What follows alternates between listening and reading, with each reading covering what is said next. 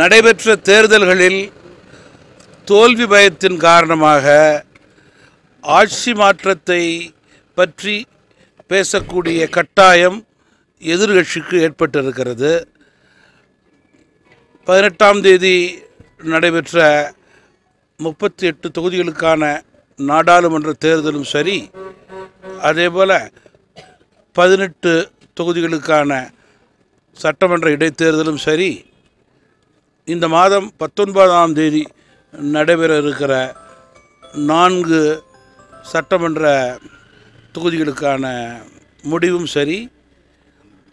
ஆளுகின்ற ஆட்சியாளர்கள் தமிழகத்திலே அதிமுக கூட்டணி மத்தியிலே பிஜேபி கூட்டணி வெற்றி பெறக்கூடிய ஒரு பிரகாசமான சூழல் இருக்கிறது.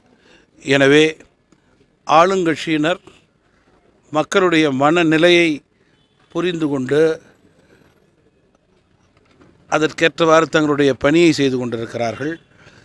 எதிர்கட்சியினர் மக்களுடைய மனநிலையை புரியாத காரணத்தினால் வளர்ச்சி திட்டங்களுக்கு தடை ஏற்படுத்தக்கூடிய வழக்குகளை போட்டு மக்களுக்கு கிடைக்கக்கூடிய வாழ்வாதாரத்தை முற்றுப்புள்ளி வைக்கக்கூடிய நிலையே ஏற்படுத்தினார்கள்.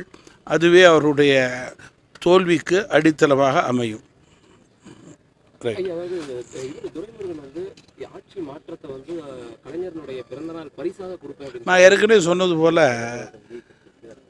தேர்தலிலே மத்தியில் பிஜேபி மாநிலத்திலே அதிமுக கூட்டணி வெல்வது உறுதியான சூழல்.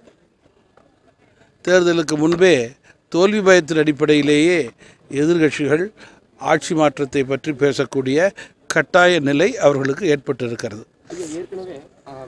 இதில் வச்சுக்கிட்டோம் சார். மீட்